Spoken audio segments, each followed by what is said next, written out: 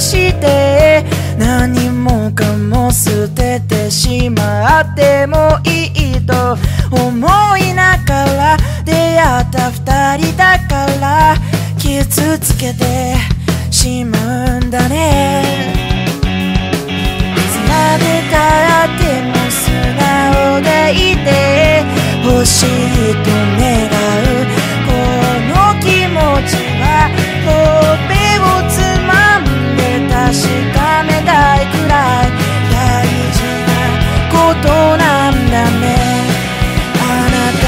ふざけた冗談で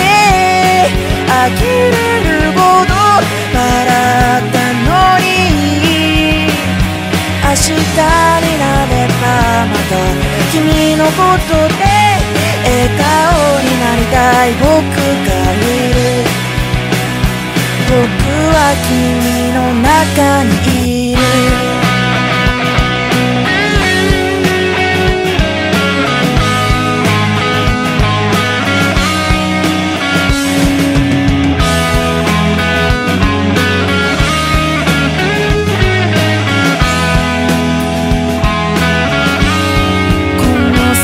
嫉妬や嫌いで呆れるほど泣かされた日も抱きしめながら朝を迎えようそんなこと忘れようあなたのふざけた冗談で呆れ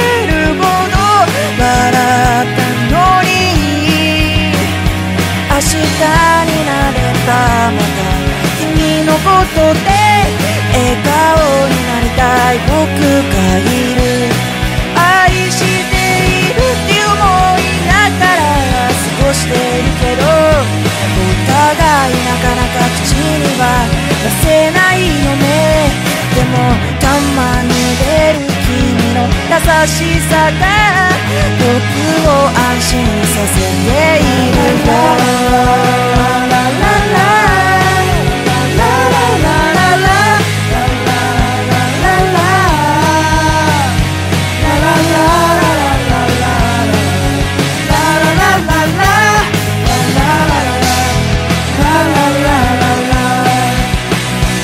僕は君の中に